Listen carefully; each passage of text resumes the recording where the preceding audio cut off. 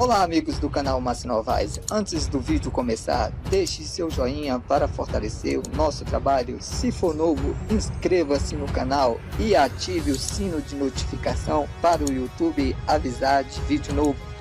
Obrigado e bora para a notícia do dia.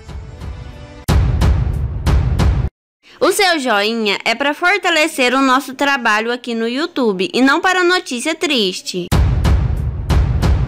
O Cidade Alerta perdeu um grande profissional nesta semana e amigos lamentam. Nos deixou um famoso jornalista e ator alagoano. O famoso Miguel Torres faleceu no Hospital Memorial Arthur Ramos, em Maceió. Ele tinha 59 anos.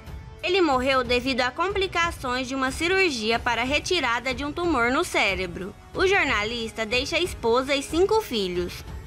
O Cidade Alerta de Alagoas encerra o programa falando que não só morreu um amigo, mas sim um grande profissional, com um sorriso e era grande companheiro que contagiava a todos.